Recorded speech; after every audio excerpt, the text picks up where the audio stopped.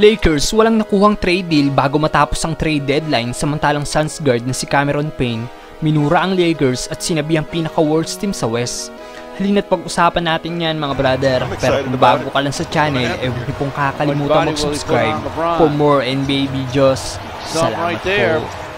Natapos na nga po ang trade deadline at wala nga po ni isang trade deal na nagawa ang Lakers. Dahil ayon nga po sa report ay kapos sa may offer ang Lakers para makuha ang player na gusto nila. At ayon pa sa report ni Adrian Wojnarowski ng ESPN ay nakapokus na ang Lakers ngayon sa buyout market. At dahil 15 players na ang meron sa roster ng team ay magwe-wave ng player ang Lakers para makapagdagdag pa sila ng player.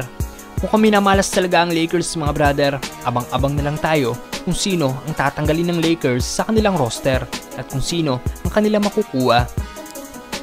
Samantalang Suns guard na si Cameron Payne minura ang Lakers. Ang Lakers nga po ang isa sa pinakapopular na team sa NBA dala ng tagumpay na nakuha ng franchise. Lalo na't nandito din sina Lebron, Davis at Westbrook ngayon kaya naman isa talaga ang team ng Lakers sa pinag-uusapang team na tinututulan ni Suns guard Cameron Payne na sinabing hindi na daw dapat pinag-uusapan pa ang Lakers dahil sobrang pangit daw ng nilalaro ng mga ito.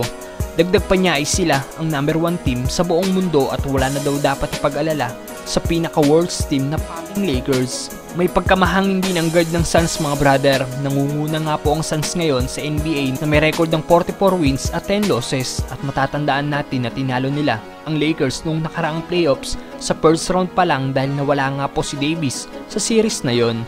March 14 makakalaban ulit ng Lakers ang Phoenix Suns.